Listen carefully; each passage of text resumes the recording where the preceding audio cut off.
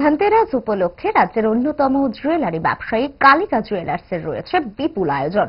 দেশের বিভিন্ন স্থান থেকে সংগ্রহ করে আনা হয়েছে নতুন ধরনের স্বর্ণালঙ্কার। বুধবার কালিকার পক্ষ থেকে সাংবাদিক সম্মেলনে জানানো হয়, ধানতেরাস মূলত হিন্দি বলয়ের উৎসব হলেও এখন এই উৎসব ত্রিপুরা এবং পশ্চিমবঙ্গেও বিশেষ পার্বণ হিসেবেই উদযাপিত হয়ে চলেছে।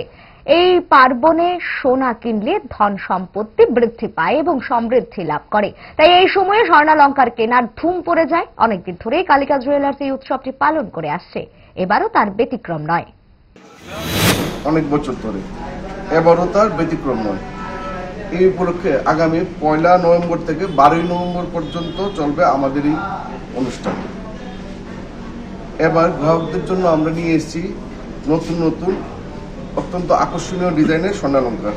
ভারতের বিভিন্ন প্রদেশ থেকে এইসব স্বর্ণালঙ্কার সংগ্রহ করা হয়েছে। ভারী এবং আকর্ষণীয় দেখতে নবাবী স্বর্ণালঙ্কার।